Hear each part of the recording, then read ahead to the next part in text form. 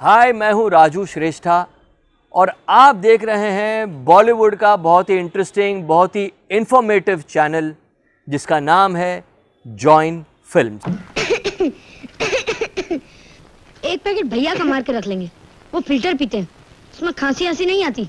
लेकिन एक बात बता तेरे पिताजी मना नहीं करते तेरे भैया को?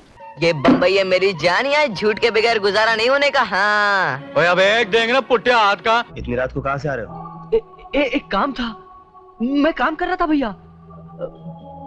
देशभक्ति पर एक फ़िल्म बन रही है। मैं उसी की शूटिंग कर रहा था। जॉइन फिल्म्स में और भी बहुत सारे वीडियो अवेलेबल हैं जिनसे कि आपको प्रॉपर प्रोफेशनल गाइडेंस मिलेगी। भले ही आप एक्टर बनना चाहते हो राइटर बनना चाहते हो फ़िल्म मेकर बनना चाहते हो सिंगर बनना चाहते हो आपको हर तरह के इस पर वीडियो मिलेंगे। भले वो फेक ऑडिशन पे हो कि ऑडिशन कैसे देने चाहिए इस पर भी डिटेल वीडियो अवेलेबल है। ये जो आप चैनल के माध्यम से जो आप लोगों को बताना चाह रहे हैं ना जॉइन फिल्म्स के नाम से अक्सर मैंने देखा है कि बहुत सारे जो एक्टर्स ख़ास करके एक्ट्रेसेस हैं।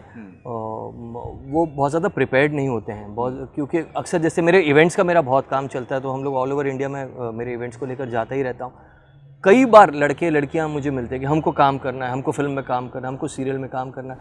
मेरा ये जवाब होता है कि क्यों काम करना है? तो उनका सिर्फ़ एक ही जवाब होता है कि हमें बहुत शौक़ है। मुझे बहुत शौक़ है। मुझे बचपन से सपना था एक्टिंग करने का। मुझे बहुत शौक़ है। तो लेकिन शौक़ तो मुझे भी गाने का है।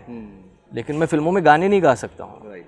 तो अभी मैं मतलब मैं घर में गाता हूँ तो मेरा जो छोटा बेटा है दस साल का वो कान बंद कर लेता है। तो मैं मुझे लगता है कि मैं बहुत अच्छा गाता हूँ। तो अगर आप प्रिपेयर्ड नहीं है मुझे बहुत शौक है फिर उसके बाद आप बॉम्बे आ जाते हैं। मुंबई आने के बाद फिर जो भी आपके साथ उल्टा सीधा होता है आप कुछ नहीं कर पाते हैं फिर आप इंडस्ट्री को बदनाम करते हैं। हमारे साथ ये हो गया मी टू हो गया फलाना हो गया। अगर आपको काम आता है और आप में टैलेंट है तो अभी जैसे हमने डिस्कस किया कि एवेन्यूज़ इतने खुल चुके हैं कि अगर आप में टैलेंट है तो आपको मौका मिलेगा। अगर टैलेंट नहीं है फिर आप शॉर्टकट मारने की कोशिश करोगे फिर वो नहीं होगा अरे हमारे साथ इंडस्ट्री ने ऐसा किया वैसा किया। तो आप अपना क्राफ्ट सीखिए ये जो चैनल है ऐसे चैनल्स का फ़ायदा उठाइए। बहुत सारे आप ऑनलाइन सर्वे कीजिए अच्छे अच्छे एक्टिंग क्लासेस हैं अच्छे लोगों से मिलिए और इंडस्ट्री सबके लिए खुली। अगर आप में टैलेंट है तो क्यों नहीं? राजू जी सिनेमा का भी हर बार ना कुछ ना कुछ चेंज आया, वो चेंज भी आपने देखा है। पहले फ़िल्में बनती थी दो से तीन साल में, अब बनने लगी हैं छः से नौ महीने में। ये बदलता दौर कैसे डिफाइन करेंगे? अभी मामला थोड़ा सा प्रोफेशनल हो गया है। मेकिंग प्रोफेशनल हो गई है। लोग हर हर हर चीज़ के लिए अलग डिपार्टमेंट बन गया है। हर चीज़ के लिए प्रोफेशनली ट्रेंड लोग आ गए हैं। कास्टिंग का एक अलग डिपार्टमेंट है। स्क्रीन प्ले का एक अलग डिपार्टमेंट है। डायलॉग कोई और लोग लिख रहे हैं।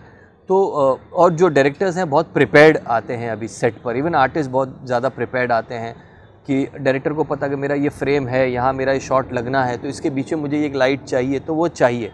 हमारे मतलब पहले जो होता था कि ठीक है सेट पे बहुत सारा कुछ इम्प्रोवाइज़ हो जाता था. कास्टिंग डायरेक्टर ही सब कास्टिंग कर लेता था. सीन कई बार सेट पर लिखे जाते थे, लेकिन अभी सब पहले लिखा जाता है. प्रोफेशनल हो गया है परफेक्ट हो गया है काम. आजकल का जो यूथ है, वो बहुत ट्रेंड है.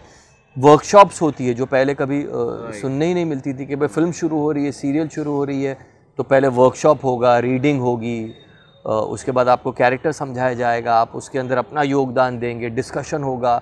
तो जब एक्टर डायरेक्टर कैमरामैन राइटर जब सब सेट पर आते हैं तो सबको पता है कि आ, क्या फ़िल्म बनने वाली है क्या मूड है फ़िल्म का। एक्चुअल मुझे क्या तो एक्चुअल मुझे क्या करना है तो आज के दौर में काम करने का मज़ा एक अलग ही है।